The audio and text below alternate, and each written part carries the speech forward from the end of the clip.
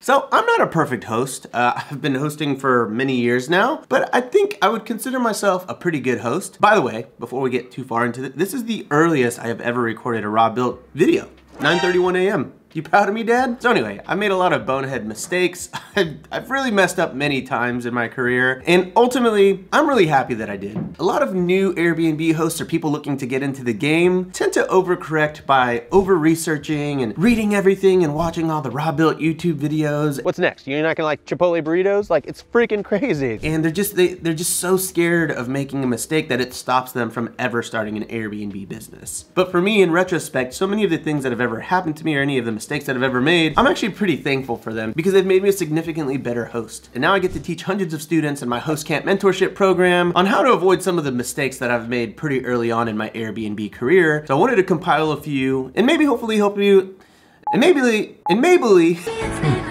help you avoid some yourself. Ultimately saving you headaches, gray hairs, time, money, all that kind of stuff. So you're welcome in advance. And you're probably gonna wanna stick around until the very end because the last one is one of the biggest mistakes that I see Airbnb hosts make. Also, if you're interested in becoming an Airbnb host, if you sign up with my ambassador link down in the description below, you'll get $75 when you host your first day. And if you wanna learn a little bit more about HostCamp, there's more information down there too. So with that, let's get into the biggest mistakes that Airbnb hosts make and VRBO hosts and Booking.com hosts and HipCamp, all the hosts, every host out there, these are the mistakes that they make. So here's the number one thing that I preach in host camp and pretty much to anyone that's getting into Airbnb. I get on a soapbox about this, so I'm gonna start strong here. I'm gonna start with the biggest mistake that Airbnb hosts make, and it is taking cell phone photos of their beautiful property. They stage it, they spend $20,000 on furniture, they spend half a million dollars on a house, they spend their life savings, their passion, their time, getting this Airbnb ready to list, and then they say, hey, why don't we cheap out at the very end and save money and take photos on our cell phone instead of spending three to $500 on a photographer?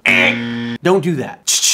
Don't do that. That's a, I don't have a spray bottle, but if, if I did, I would be spraying you in the face right now if you've ever thought about taking cell phone photos to list your Airbnb. Now let me clarify a couple things. If you're listing your place and your photographer can't come out for two or three weeks, that's totally fine. Take cell phone photos, get it up there, get it listed, start making money. But make it a priority to get new photos taken and swapped. So I wanna give you a very clear example of what I'm talking about by putting my own listings here on blast. I was gonna go and find Airbnb listings that didn't have professional photos, but I figured, you know, I've actually gone through this process where I took cell phone photos photos and had a pro come in and reshoot them. And I just wanna show you the difference between professional versus cell phone. And I want you to know that photos are the single most important marketing tactic that you can employ for your Airbnb listing. So let's jump into my tiny house in my backyard. These are all cell phone photos. And honestly, like, you know, they're fine, but like this isn't even level. You know, I don't have a wide angle lens. So it just all around looks kind of crummy to me. Um, again, it's fine and it works. And I put these listings on Airbnb and it worked. However, as you can see, I took these photos at night. So I'm just just not a visual person. I was in a rush. I didn't even care that it was nighttime. So I wanna show you what the pro photos look like now. My friend over at Barkhurst Studios took these photos. And if you ever are in the Southern California region, I highly recommend him. But as you can see here, like this is what it looks like to have several megapixels here, just everywhere. And it's actually edited and it's retouched. And now it feels like the tiny house is no longer 300 square feet, but maybe five or 600 square feet. And I don't say this as a, hey, let's deceive people into thinking it's bigger. I just mean that when you have a good photographer with a wide angle lens, it just really works wonders for your listing. All right, moving on to Casita Conejo, my tiny house in Joshua Tree, California. Again, cell phone photos here, not bad. They're, they do the job. Obviously, you can tell that the tiny house is nice. We got a gallery wall that I took here. Again, I took photos at night, so obviously that's my theme. Oh, here's one in the daytime. Now let's see what the professional photos look like. Again, also taken by Barkhurst Studios. Boom, look at this little cutie.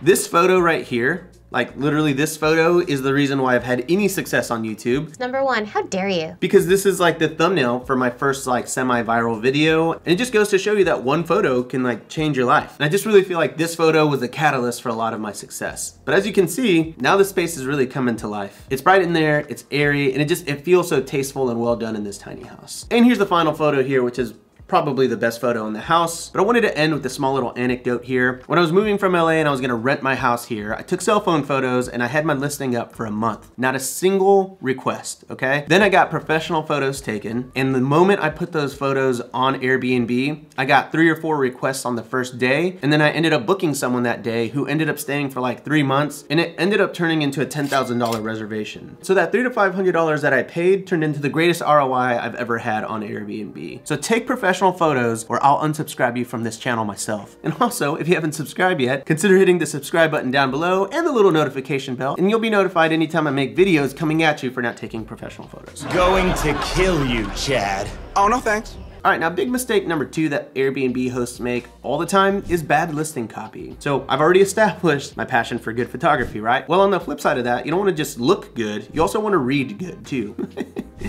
well, you wanna read well. You want your, what am I saying? Uh, you want your listing to read well. Does that make sense? Whenever I'm looking at people's listings, they always say, hey, what's the best way to market my Airbnb? Should I start a social media account? Should I start my own direct booking website? Should I take out Google Ads? All that kind of stuff. And I'm like, no, it's actually a lot easier than you think. Good photography, good listing copy are gonna be the two most powerful marketing tools that you have for your Airbnbs. Specifically because you just want people to understand what they're booking. Okay, it looks good now, but now they wanna read it and understand the space and understand the story that your photos aren't able to tell. So I just picked a random market here and pulled up like five listings and I just wanna show you the difference between what I consider good and bad. So looking at here, we got like a cute little cabin here. Awesome. This is it. This is their only description copy that they have. It's a tiny little paragraph. I'm not even gonna read it because I know that if I read it, I still won't really know what this place is, right? So I'm gonna move on to the next listing. Then we get into this place. Again, a cute little rustic cottage type of place. Click on here. And I've got a tiny little intro paragraph here. I literally have one sentence about the space and then like one tiny sentence here. So as you can see here, I can read this, but I might have questions about, are you on septic? What kind of access to the property do I have? Are there any animals on the property? Is there a pool? Is there a hot tub? All those questions that I might have from the photos are not gonna be answered here. And not only am I confused, now I'm gonna message that host and I'm gonna say, hey, I saw in your photo that you had a hot tub. Is that operational year round? And now you as the host have to take time out of your day to answer a simple question that you could have answered by taking five minutes to include it in your listing. All right, mistake number three that most hosts make is not being incredibly fast responders. And that just means that, you know, when you get a reservation request, you should be answering it as soon as you can because you never know how many hosts that that guest has reached out to. That guest has reached out to 10 different hosts. Then honestly, it's gonna be a matter of who responds first. And if someone else beats you to the punch, then more than likely you're gonna lose that reservation. I often say on the channel that time is money, and I mean that in a bunch of different regards. And one of the ways that I mean it is if you take way too much time to respond to someone, you're gonna lose out on that reservation and it's gonna cost you money. The fourth mistake that I see Airbnb hosts make all the time is being in the weeds of their listings and not really automating large portions of their business. Now you can't automate every single component of your Airbnb business? Because if you did, then your guests might think that you're a robot, which you might be because you're ultimately still gonna wanna have a personal touch to your Airbnb listing, right? But I'm still a really big advocate of automating things like your messaging, automating things like your cleaning schedule so that you don't have to text your cleaners, automating leaving reviews for your guests, automating your pricing through dynamic pricing. Honestly, all of these things are things that I struggled with for a very long time because I'm just like a very stubborn person and I hate giving up any kind of control. And so for me, the idea of automating my messages and not having a personal touch on every single message and not being able to mess with the pricing and then communicating with my cleaners, like these were all things that I was scared to let go because I just really felt like the moment I automated that stuff, my listing was gonna drop in quality. But what I didn't realize was that it was actually the opposite. By not automating all of these different components, my listing was dropping in quality because so many things were falling through the cracks. Like forgetting to text my cleaners, like forgetting to message guests their checkout instructions and reminding them that checkout is at 10. And then I would have guests that checked out at noon because they just never read the listing and they didn't know when checkout was. And then my cleaners would show up and have to like nicely kick them out because they had to clean the listing and get ready for the next guest. And then those guests were a little annoyed by that interaction. And it's just like a whole thing, right? Like this is just one little example here, but this can happen so many times in so many different combinations. And just another thing off the top of my head here with pricing, for example, like I liked controlling the pricing and being like the evil scientist and testing out what price points would work. And then I would price a weekend super high and then I would just forget because I have like 14 different listings. And then I would say, well, why hasn't this weekend booked the day before? And I'm like, oh, it was at 500 bucks. Of course it wasn't gonna book. And then I'd have to drop prices and I wouldn't be able to book it in time and I would lose money as a result. So all to say, I've been having a little bit of PTSD here from like Rob when he started his Airbnb hosting journey. I've just learned the hard way that when you try to control every single aspect of your business, you actually lose control of it. So for messaging and cleaning coordination and review automation and all that kind of stuff, I like to use Guesty formerly YourPorter. And also I do wanna quickly clarify that this is not an ad. I actually use Guesty. And also, if you sign up with my link down below, you'll get $100 off for the next couple of weeks. And then if you're late seeing this, it'll be like $20 off your first billing cycle or something like that. For dynamic pricing, I use PriceLabs. I've used a bunch of different ones and they all work fine, but PriceLabs has my favorite interface. And for me, if it's easy to use, then I use it. And since we're here and we're dropping links already, if you want $10 off your first month, you can sign up with my link down below. Okay, number one, two, three, four, five. Oh man, this is a big one.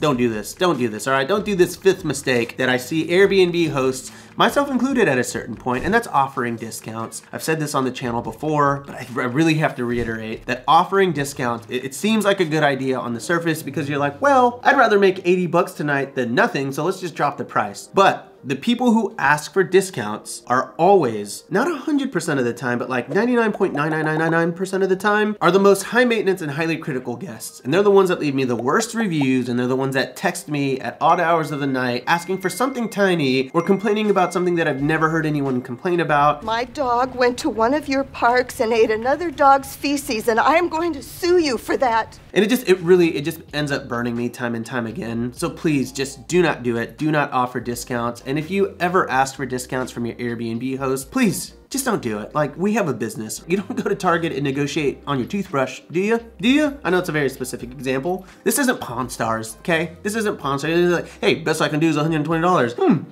yes, except, no, they're gonna burn you and they're gonna break stuff and, ugh. Just do not do it. For the love of God, if you're listening to me, Carl, do not give a discount. Woo!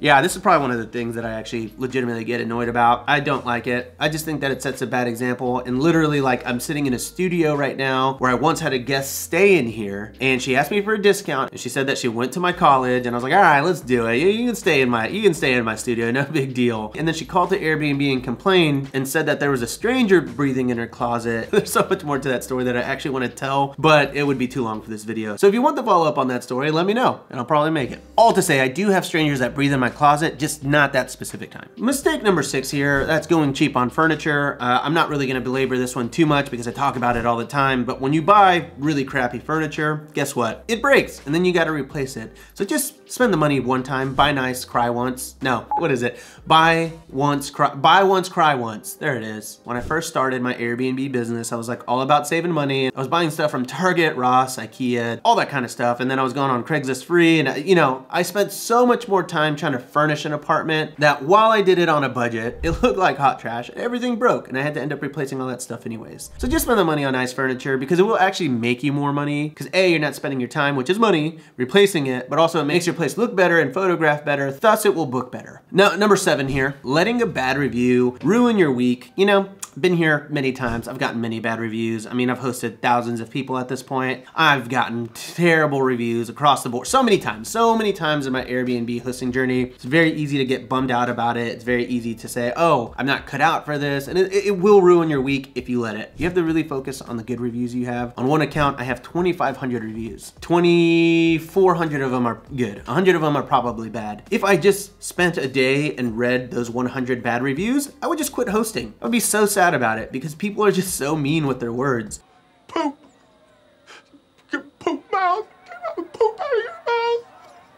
But if I just spent some time combing through the other 2,400 reviews, I would probably shed a tear every now and then because I do. I do. The reviews that people leave you are so nice and they spend so much time writing you a very long and thorough review. So remember why you do this. Read those and understand that you're helping other people make memories that will literally last them for the rest of their lives. Memories that they make with their friends, with their family, over beers, in a hot tub, looking at a view, whatever it is. Like you are a part of that. So if you get a bad review, shake it off, fix it. If there's something that needs to be fixed, fix it, but move on, learn from it. And I promise you that the hard reviews won't cut so deep like in a couple years from now. I'm, I'm not really phased by them these days, but every so often I do have to track them down and take a baseball bat to their knees. What?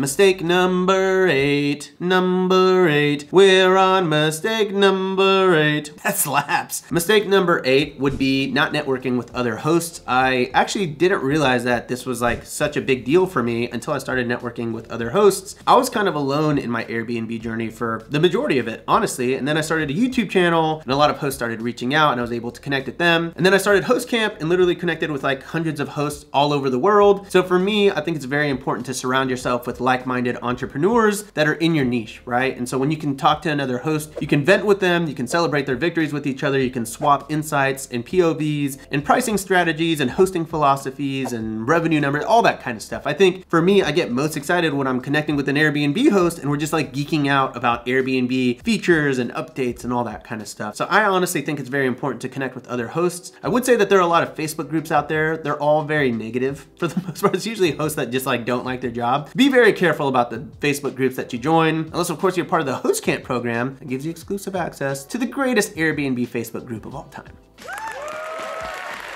Number nine here, canceling reservations. Just don't ever do it. Uh, if you cancel a reservation, I think that is a big mistake because A, it's gonna ding your Airbnb like record and it'll actually affect your Airbnb SEO. You'll play slower. On top of that, they'll block those dates out from being able to be booked again by somebody else. And on top of that, you ruin someone's like possible trip. Like if someone books your place and then a week before you were to cancel on them, now they have to go and find a new place. But if it's like a really popular location like the Smoky Mountains, there may be literally nothing available. Or if there is something available, it's extremely expensive. And now you're making that family or that group of friends pay significantly more than they would have had to have if you hadn't canceled on them. So be a man or woman of your word and honor a reservation at all costs. The only time that I've ever canceled on a guest was for inclement weather. That would actually, it would have been dangerous for them to go to my Airbnb listing. Other than that, rain or shine, I let a guest stay there. The other day I had huge plumbing issues and the water was coming out brown because our filter broke and instead of canceling, I said, hey, I can cancel this or if you're okay not using the water in the house, I'll let you stay for free. And I wanted to give them the option before I canceled on them because they'd already planned their whole trip. And honestly, they were super, they were like, great, we'll bring bottled water. No big deal. We love camping. This is like a huge step up from camping. And so that was like a really great resolution because I almost just canceled it without even running it by them. All right, I have a few more here, but uh, 10 is a nice round number. So we're gonna just end on this one, and that is splurging on the wrong things. This is a mistake that I see Airbnb hosts make all the time. And they spend money on like a nice Vitamix blender, or they get ultra premium sheets, which is like a very nice thought, but sheets are something that you're gonna be replacing like all the time. And so if you spend 70 bucks on a set of sheets, you're wasting $70 because you're gonna replace it in a month anyway. I actually had a student one time that was gonna drop like $1,000 per mattress, and I was like, I was like, whoa, do not do that. And they're like, no, I just want them to be super comfortable at night. I think it'll be a premium experience. And I was like, yeah, but you don't need to spend $1,000 up, just spend like 300 bucks on a mattress from Amazon, Zinus, Sleep Signature, Oli, whatever it is, right? And I was like, spend your money there. And he was like, oh, I had no idea that those existed. And I literally saved him like